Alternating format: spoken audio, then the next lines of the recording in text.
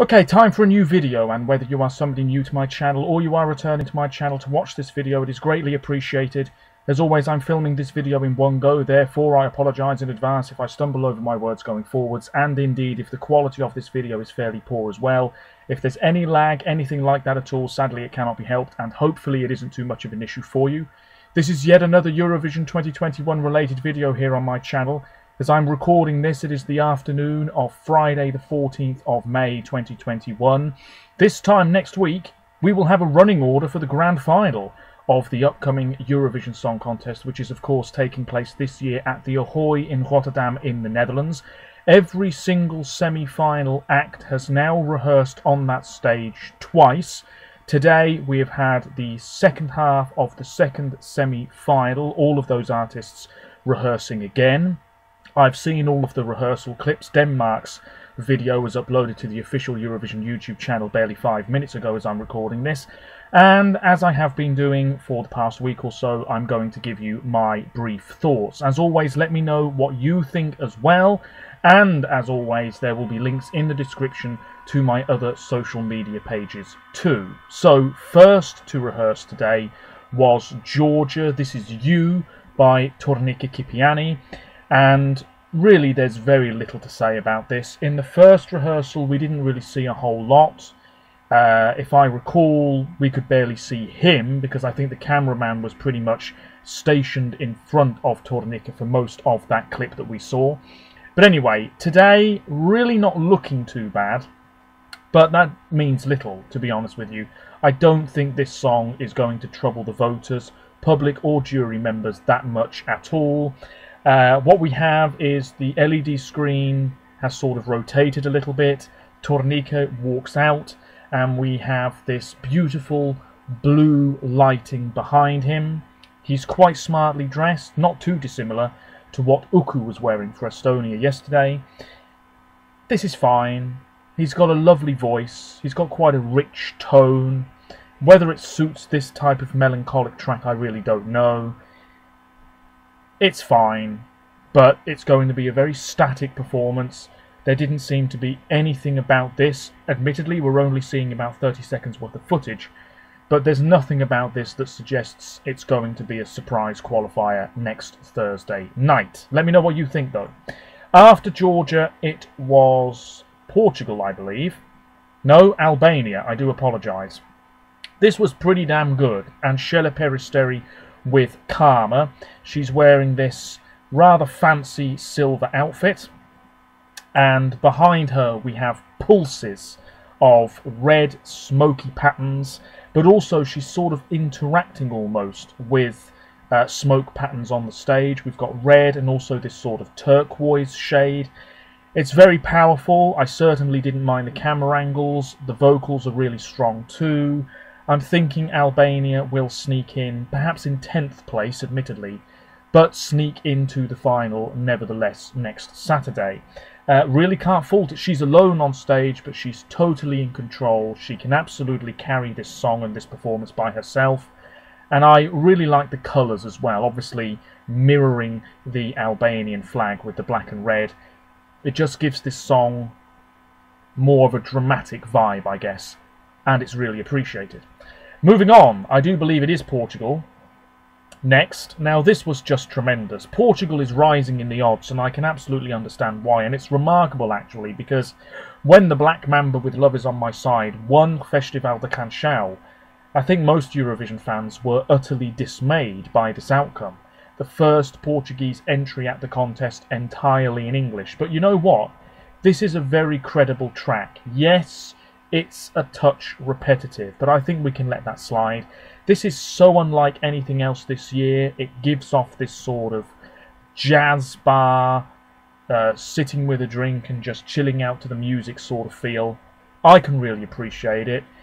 Uh, what we have are warm tones. We've got sort of oranges on the backdrop. We've got the semi-transparent LED screen as well that comes down. The lead singer walking onto the runway. And what we see on that semi-transparent LED is a figure walking as well. We've got hearts, sort of concentric heart shapes on the backdrop. Really lovely. We've got that silhouette of the orchestra too. They're all very smartly dressed. Vocals really great. He's got such a unique voice, and I think it really does stand out from the field this year. There's very, very little that needs to change, and really, this is looking very strong indeed. I mean, if you thought Portugal wasn't going to be a qualifier this year, it might be time to change your mind. I don't think this would be a convincing qualifier, and I'm not sure there would be a ton of points for this in the grand final. But the juries should appreciate this quite a bit, and I'm sure the public won't totally dismiss it either. I like it more and more every time I listen to it. The rehearsal today only boosted this group's chances of going through to next Saturday's grand final. Let me know what you think. I thought it was terrific. Uh, then we have Bulgaria. Well, this gave off winner vibes. It is one of the favourites to win. Of course, this is Victoria. Growing up is getting old. She's atop this cliff-like structure. We've got sand falling from the ceiling. What we saw in the rehearsal clip today was her looking down at this image of her and her father. That's a very touching, personal moment that I hope the audience at home sort of understand next week when they see it. Maybe the commentators will say something about it. It's very beautiful. The vocals are really nice. I've said it before, I'll say it again. Victoria has this fr almost fragile but very pretty voice, and I think it suits this song very well. Certainly, there is a great atmosphere to this performance, and when we see the whole thing, that's only going to be ramped up as well. Terrific. Do I think this is going to win? No, but I think it will certainly be up there in the results. Um, yeah, really, really nicely done. Uh, I know that she interacts with the sand at one point as well. It falls into the palm of her hand. Really nice job. Got to move on.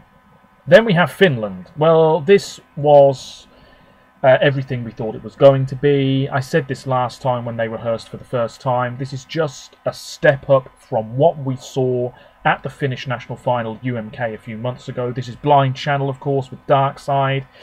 We've got images of the band on the backdrop. We've got lots of flashing lights, reds and whites.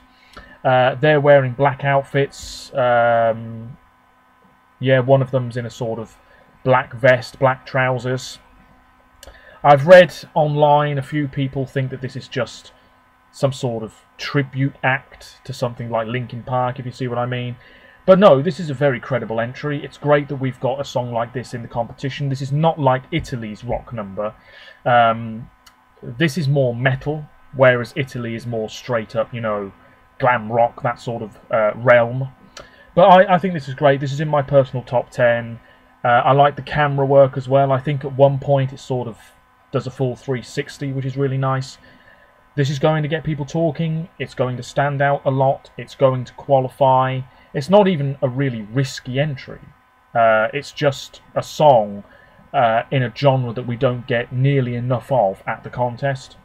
Terrific stuff. Well done, Finland. Moving on, after Finland, uh, I'm looking at this list here. There's Måneskin from Italy playing ping pong, because why not? Latvia. This just disappointed me a tiny bit. This is Samantha Tina finally representing her country with The Moon is Rising. She's in this rather fancy green outfit. Her backing singers are in green outfits too, and we've got this uh, very regal, um, uh, rich, golden, swirling pattern on the LED screen. The stage feels a bit empty to me. It's her and the three backing singers, and that's it. I feel like there needs to be something else. This isn't a song where you can really have a dancer. So, I don't know. Nothing's going to change now, but the stage feels a bit empty to me. Vocals really good. We know Samantha will belt the hell out of this next week. She's already doing so in this rehearsal clip. Um, but I was left quite underwhelmed, to be honest with you. If this makes the final, well, I can't imagine this is going to finish too high up on the scoreboard next Saturday night. I don't know what the jurors will think of this. I can't imagine there'll be a ton of points for it. There'll be more public love, perhaps. Uh, but yeah, I'm very much on the fence with Latvia. I'm, I don't think it's going through. But then again, I haven't made my final predictions just yet. Let me know what you think.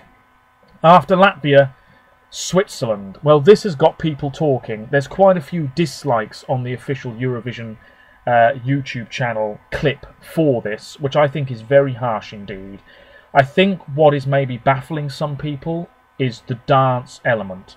But you know, we didn't want him sat behind a piano. They're doing something a bit different. They're doing something which makes this song stand out more. They're not just going down the generic route, they're shaking things up a bit. And I think it does work. Um, there was a comment I saw on the video actually where somebody said that if you muted it, you would think that this is more of a rap song, a rap performance, because of the way he's really getting into it and moving like this. And I can sort of understand why you would think that. Um, I don't think he needs to move quite as much. Whether he moves a lot for the entirety of the performance, I really don't know, because we've only seen a small snippet. Uh, he's wearing black trousers, this black top with swirling white patterns all over it. Uh, I mean, he sings so well, his voice is absolutely tremendous. And he's got these white pillars, uh, white structures around him that stagehands will move around as well. And I know at one point he's bathed in this purple spotlight. It's looking really good. We've got sort of quick camera cuts as well, which I personally think work quite well. Flashing lights, this sort of watery pattern on the backdrop. Um, I don't think it's quite there yet, but I have full confidence that next week, Gjon's Tears with Tout l'Univers will certainly impress the jury members and the public alike this is going through. There's no situation whatsoever in which Switzerland miss out. It's still a potential winner. However, perhaps Gjon's chances are fading slightly, more so after today.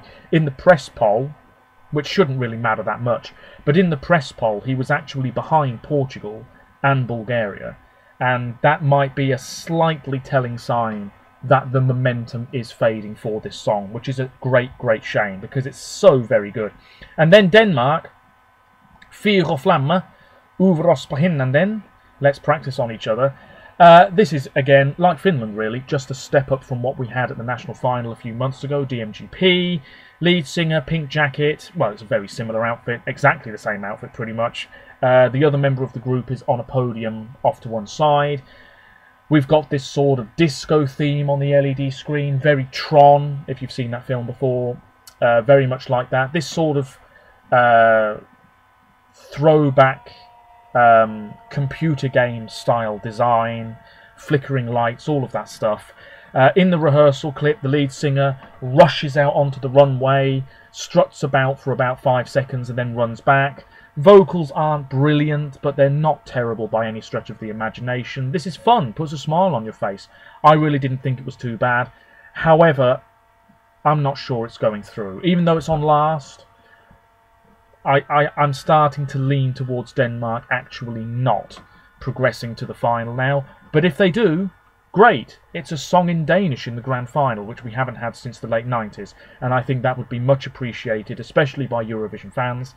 And maybe because this is in a sort of throwback classic 80s sort of style, maybe the juries will actually appreciate that. Um, and the public, you know, they'll be charmed by it. And what have I said before? If you have a song that is on the right side of charming, by which I mean it's not too twee, not too cute, there'll be points. Charming equals points. And this song is quite charming. It's quite charismatically done we wait and see what happens next Thursday. That's it. So, uh, for me today, best rehearsal, honestly, Switzerland for me, followed by Bulgaria. Uh, weakest rehearsal, it wasn't bad, but I have put Georgia last here. Biggest disappointment, perhaps Latvia. Uh, and then, uh, in terms of all of semi-final two and the second rehearsals. Number one Switzerland, number two Serbia, number three Bulgaria, and then the bottom three, bottom up Georgia, Poland, Latvia. Biggest disappointment, Poland. Also the Czech Republic. That definitely needs a bit of improvement in the vocal department and perhaps the staging as well a little bit. And then taking into consideration every single country this year. Obviously the automatic finalists have only rehearsed once But for me, Italy, France, Switzerland, top three, followed by Cyprus and Serbia. Cyprus is just absolutely ready to go. And then, uh, biggest disappointment, well, I've already mentioned them. Poland, Latvia, Sweden disappointed me. Romania still needs a bit of work as far as I'm concerned. That is not a safe qualifier. Czech Republic too. Um, and that's about it. So roll on this year's contest. I think as I'm recording this, uh, France is the favourite to win by a very narrow margin. I think Italy second and then Malta third.